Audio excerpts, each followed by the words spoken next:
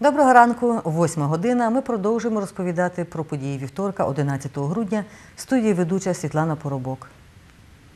Білоруська художниця Тетяна Цимбарецька провела в Державному історико-культурному заповіднику Межибіж Летичівського району майстер-клас з іконопису на склі для дітей недільної школи. Нагадаю, зараз у музеї заповідника експонуються ікони художниці, написані на склі та дереві. Художниця з Білорусі Тетяна Цимбарецька проводить для дітей майстер-клас з написання народної української ікони на склі. Їх селяни перемальовували на склі з надрукованих святих образів, обводили спершу сумішю попелу з олією, а потім розфарбовували в яскраві кольори рослинними барвниками. Діти з недільної школи використовують маркери та олійні фарби. Разом з дітьми іконопису навчається місцевий священик, настоятель замкового храму отець Петро. Якщо, наприклад, людина вміє робити це, людина творить, людина душею це пише,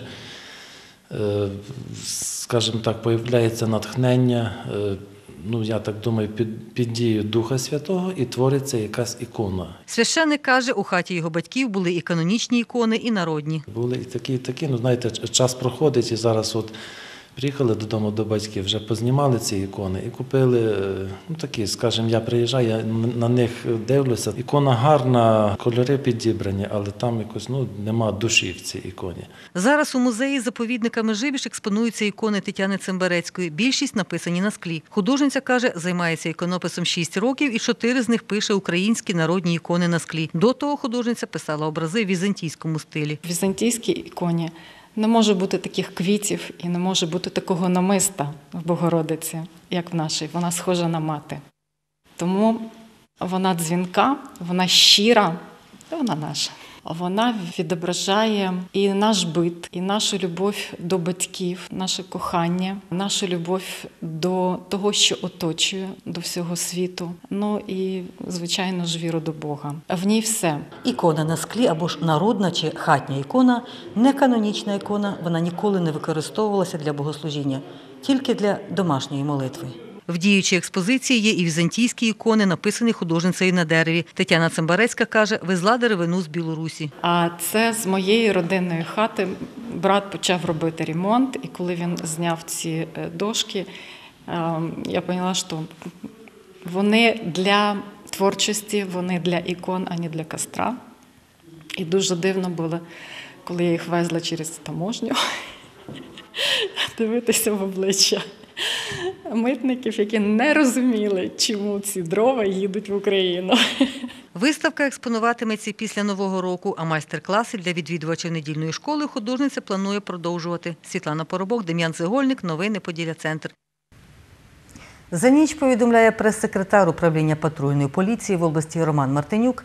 На території обслуговування відомства надзвичайних подій не було.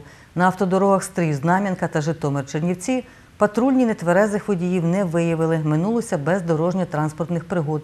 У Хмельницькому поліцейські виявили одного водія з ознаками алкогольного сп'яніння. Минулося без дорожньо-транспортних пригод.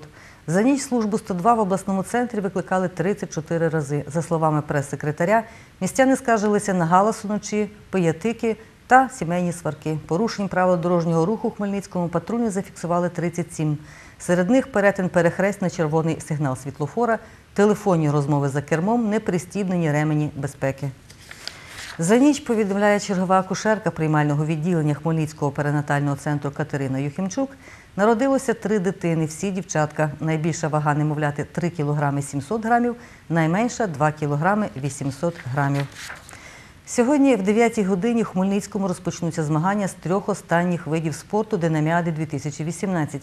Це волейбол, гирьовий спорт та плавання, повідомив заступник голови обласної ради фізкультурно-спортивного товариства Динамо Геннадій Домбровський.